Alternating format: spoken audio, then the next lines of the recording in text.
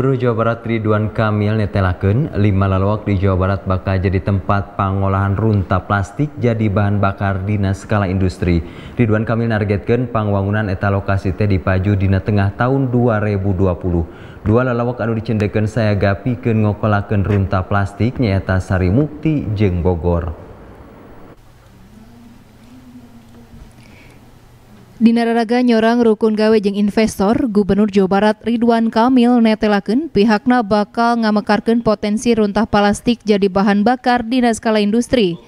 Lima lokasi dicindekeun jadi tempat pengolahan runtah nyata cekungan Bandung di Sarimukti, Bogor, Bekasi, Karawang, Ciayu Majakuning, Turta Tasik Malaya. Upama tata rekah teh bisa kahontal sampai tahun 2020 tilu, Jawa Barat bakal jadi provinsi munggaran di Asia Tenggara anu boga sistem pengolahan runtah plastik.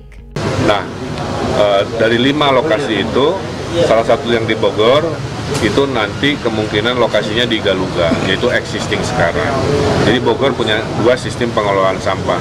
Sampah plastiknya di existing Galuga yang sekarang, sampah lainnya bersama Depok Tangerang Selatan Kabupaten itu nanti ada di Nambu eh Nambu. Nah Nambu ini uh, akan selesai target di November Desember dua tahun ini. Jadi akhir tahun kita punya waste to energy pertama yang mengubah sampah dari uh, municipal waste kota menjadi yang uh, pengganti batu bara atau RDF itu.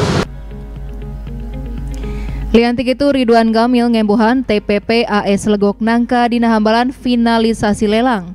Diri nage nandeskeun dina minggu-minggu ayeuna bakal medal surat penyertaan modal di Kementerian Keuangan pikeun sagancangna di proses lelang. Tempat pengolahan runtah lianti di Legok Nangka oge dipibutuh lantaran dumasar kena studi anu dilakonan ku ITB Legok Nangka ukur bisa ngolah satengah natina runtah anu ayah. Kukituna sari mukti kudu tetap difungsikan tapi diwegan ku sistem anu beda nyaeta waste to energy. Bisa dengan eta Kepala Dinas Lingkungan Hidup Bambang Rianto ngeceskin paling setik 20 hektar lahan perhutani di Sari Mukti keur memejena di proses minangka TPPAS tambahan. 2023 itu 20 hektar itu ya. Itu uh, Bapak Gubernur tadi hmm, mendapat, mendapatkan masukan seperti tadi bahwa menuntaskan sampah Bandung Raya itu nggak mungkin hanya legok nangka saja. Dan hari bukti nanti ditutup itu nggak mungkin. Makanya tadi muncullah gagasan seperti tadi dari Pak Gubernur. Nah, tapi tentunya kan kalau misalnya ya, mau menggunakan hari bukti ya kita harus memproses lagi ya.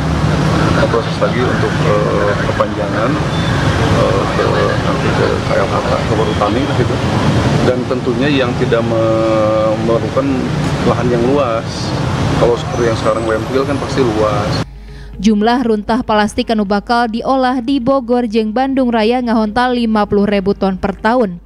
Hari jumlah investasi kersaban lokasi ngahontal 750 miliar rupiah. Budi Hartati, Bandung TV.